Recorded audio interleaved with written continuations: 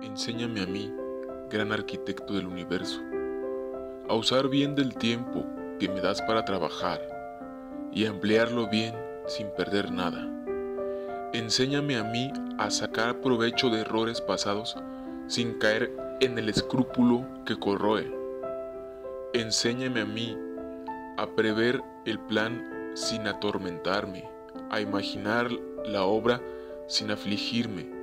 Si brota de otro modo, enséñame a unir la prisa y la lentitud, la serenidad y el fervor, el celo y la paz. Ayúdame al principio de la obra, allí donde soy el más débil. Ayúdame en el corazón del trabajo que tiene apretado el hilo de la tensión.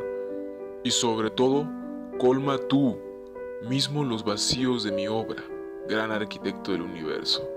En todo el trabajo de mis manos, deja una gracia de ti para hablar a otros y un defecto de mí para hablarme a mí mismo. Guarda en mí la esperanza de la perfección, sin que pierda el corazón.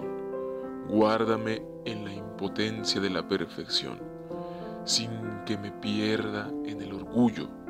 Purifica mi mirada cuando haga daño, no estando seguro que haya sido malo, y cuando haga el bien, no estando seguro que haya sido bueno. Gran arquitecto del universo, jamás me dejes olvidar de todo saber es vano, salvo allí donde existe el trabajo, y que todo trabajo es vano, salvo allí donde existe amor, y que todo amor es hueco si no me vincula a mismo y a otros como a ti. Gran arquitecto del universo, enséñame a rezar con mis manos, mis brazos y todas mis fuerzas.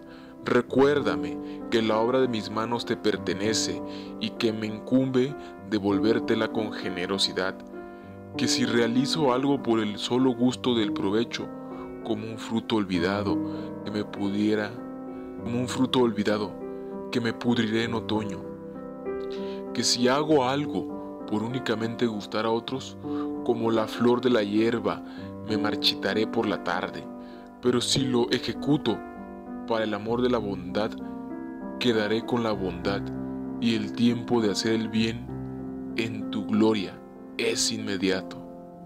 Amén.